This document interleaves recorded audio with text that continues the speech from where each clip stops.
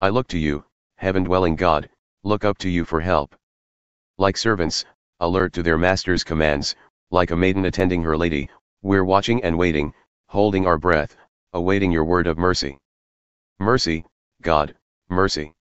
We've been kicked around long enough, kicked in the teeth by complacent rich men, kicked when we're down by arrogant brutes.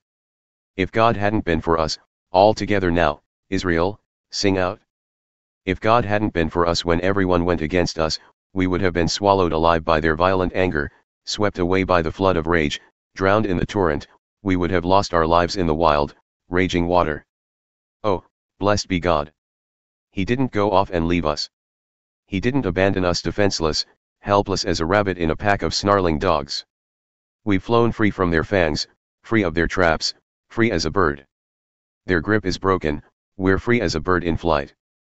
God's strong name is our help, the same God who made heaven and earth.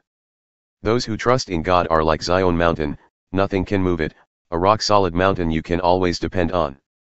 Mountains encircle Jerusalem, and God encircles his people, always has and always will. The fist of the wicked will never violate what is due the righteous, provoking wrongful violence.